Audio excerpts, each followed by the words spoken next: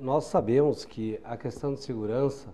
principalmente em Foz, é uma questão que diz,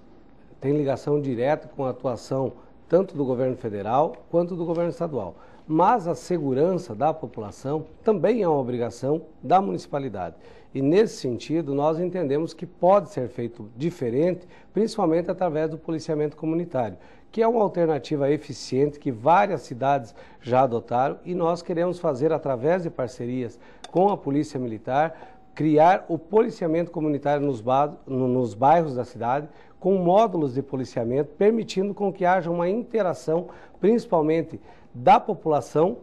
em relação à Guarda Municipal, a qual nós vamos valorizar ainda mais, respeitá-la, fazer aperfeiçoamento para que eles cada vez mais estejam integrados à comunidade e vamos fazer com que é,